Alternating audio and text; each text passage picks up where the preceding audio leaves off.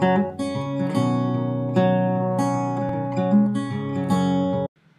and welcome to H-Code Multipurpose WordPress theme. In this video, we will show you how to set your website homepage. Now log into your WordPress admin section and navigate to setting and click on reading. Select a static page option from the front page display.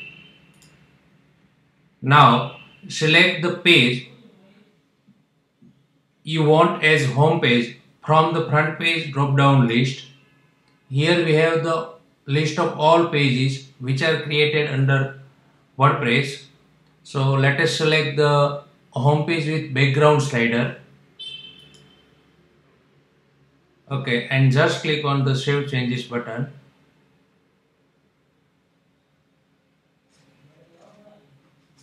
Okay, now open the front end of your website and just refresh the page.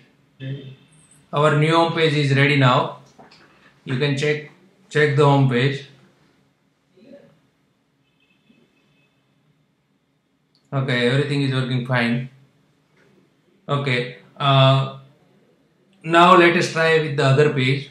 Go to the admin section again and select the other page like agency page is the home page.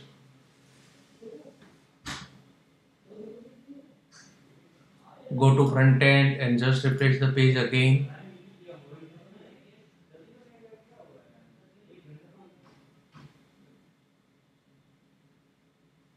Okay good.